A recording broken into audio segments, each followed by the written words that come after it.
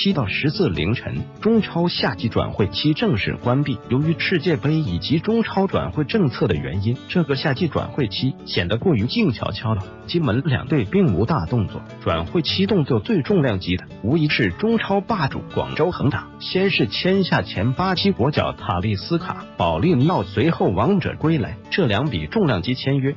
势必会让今年的争冠军团竞争更加激烈。塔利斯卡与卡纳瓦罗、保利尼奥王者归来，相对于恒大来说。争冠军团中的其他球队并没有太大的手笔，只有鲁能和苏宁更换了外援。巴西球员格德斯先租后买的形式加盟山东鲁能。这名二十一岁的小将此前效力于巴甲米内罗竞技，十二场比赛九球三助攻，这样亮眼的表现吸引了包括黑店、波尔图等欧洲球队的注意。鲁能此次成功截胡格德斯也是困难重重。此前上述的鲁能球迷。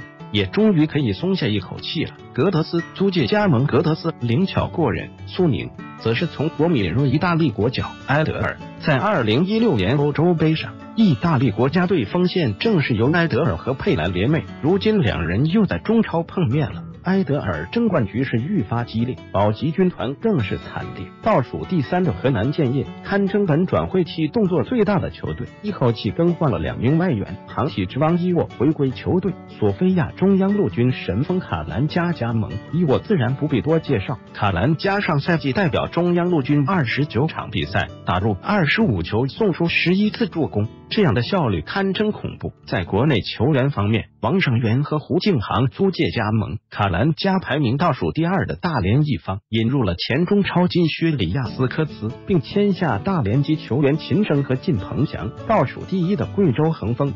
引入了中卫波利，十一场比赛仅积四分的贵州恒丰保级难度很大。天津权健和天津泰达动作并不大，权健方面只买断了莫德斯特，并补交了调节费。内援方面没有动作，禁赛期止的张修维和钱宇淼重回名单。泰达方面从国安引进了重庆 C 罗张驰明，并补报了 U 二三小将谢维军。禁赛期满的张修为重庆 C 罗。